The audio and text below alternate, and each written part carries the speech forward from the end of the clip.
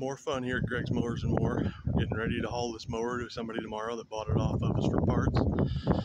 Loading mowers in the back of a caravan at one in the morning. Truckloads of fun. Have a great day. God bless you.